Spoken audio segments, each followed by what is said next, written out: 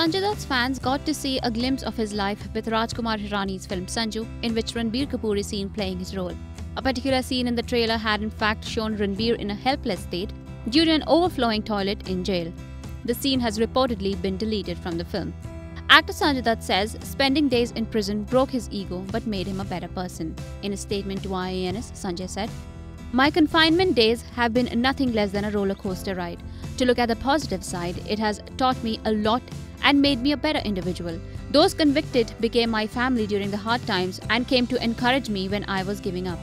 Sanjay put his personal life in jeopardy through drug addiction, and his life took a turn from the worst when he was arrested for illegal possessions of weapons and was convicted.